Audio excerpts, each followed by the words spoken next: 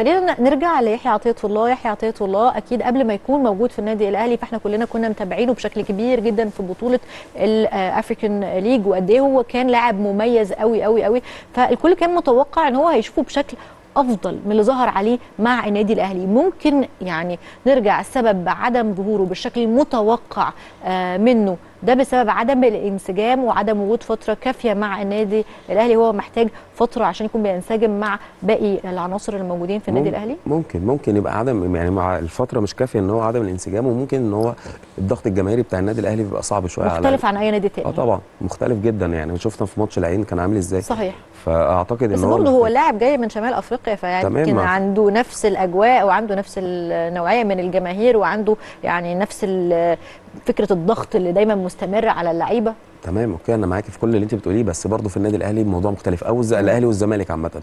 في مصر عندنا في معاك جدا بصراحة. الموضوع مختلف تماما. فممكن يكون الضغط لسه هو ما خدش على الضغط الجماهيري بشكل أو على نوعية الضغط دي. آه بالظبط. فهو ممكن الوقت ما يكونش كافي بس هو بدأ يستعيد مستواه واحدة واحدة وبدأ يظهر بشكل كويس الفترة اللي فاتت. صحيح. لكن أنت من وجهة نظرك يعني بتقيم اللاعب إزاي؟ يحيى عطية الله شايفه إزاي؟ هو هو لعيب كويس. يعني هو ككوره هو لعيب كويس جدا. مم. بس هو لسه ما أداش المستوى المطلوب منه. مم. أو المستوى المعروف عنه. اللي إحنا شفناه قبل ما يجي النادي الأهلي. كان بشكل مختلف تماما.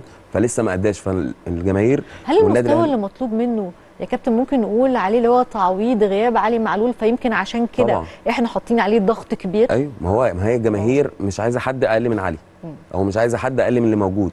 أنا عايز اللي هجيبه يبقى أعلى من اللي موجود أو بنفس المستوى. فلما يجي حد مش مأدي بشكل بنفس صورة علي معلول هم لسه منتظرين منه كتير. فهم مستنيين منه شوية. فهو بدأ واحدة واحدة هيبدأ يجي. وأعتقد لما علي يرجع تبقى المنافسة قوية فهيبقى مستوى أعلى بكتير من من الفترة اللي موجودة دلوقتي. صحيح. إذا النادي الأهلي من وجهة نظرك فهو بيحتاج في الفترة الحالية لمهاجم وإن شاء الله يكون بيقدر إن هو يتمم الصفقة دي في الانتقالات الشتوية القادمة هل ممكن النادي الأهلي يكون بيلاقي ضلته في المهاجم الثاني ويكون دايما بديل لوسام أبو علي أو يكون يعني يمكن كمان وسام أبو علي برضو فكرة إن النادي الأهلي فجأة من ما فيش مهاجم لفي مهاجم بيقدر إن هو يكون هداف الدوري المصري الممتاز في نص موسم. دي طبعا بالنسبة لجماهير النادي الأهلي كانت مفاجأة سارة جدا.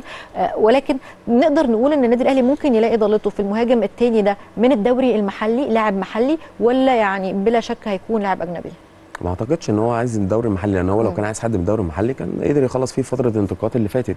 لكن هو بيدور على حد مهاجم أفريقي أو مهاجم أجنبي مميز يقدر يكون بديل لعلي أو يلعب مع علي أو يلعب فوق علي قبل علي يعني قبل قصدي وسام أنا آسف قبل وسام. فاعتقد إن هو بيدور على مهاجم أفريقي وإن شاء الله بإذن الله في شهر واحد يكون موجود بإذن الله. أكيد بنتمنى النادي الأهلي يكون قدر إن هو يعني يلاقي ضلته في شهر يناير القادم لأن